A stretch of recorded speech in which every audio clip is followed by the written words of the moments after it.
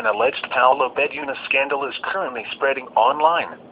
The six-minute video purportedly shows the 40-year-old newscaster in a private intimate moment with a woman, who has not been identified. Links to a video file has been circulating in social media sites. Paolo Bediones started his career as a commercial model, and later transitioned to television show hosting. He is best known for hosting GMA Network's Extra Challenge and Survivor Philippines.